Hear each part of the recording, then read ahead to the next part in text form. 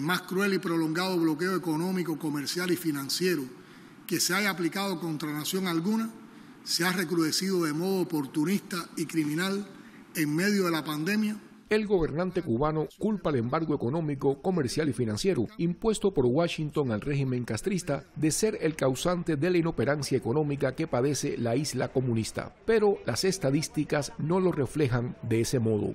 Según un informe divulgado este 3 de septiembre por el Consejo Económico y Comercial Estados Unidos-Cuba, las exportaciones estadounidenses de productos básicos agrícolas y alimenticios a la isla aumentaron un 54.8% en julio pasado, con un incremento del 88% de las operaciones comerciales con respecto al año anterior.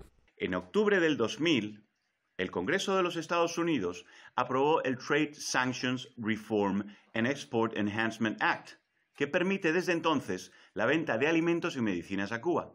Según datos del Consejo Económico y Comercial Estados Unidos-Cuba, desde diciembre de 2001, las exportaciones de productos básicos agrícolas y alimenticios de Estados Unidos a Cuba han estado en el entorno de los 6.500 millones de dólares.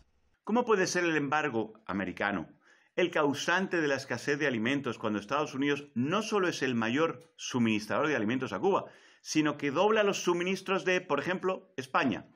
El 60% de la carne que se importa en Cuba proviene de Estados Unidos. De ser uno de los mayores exportadores de azúcar de caña del mundo, la isla comunista ha tenido que importar este producto.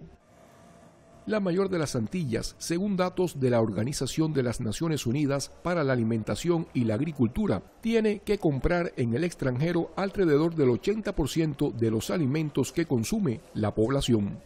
Luis Guardia Radio Televisión Martí.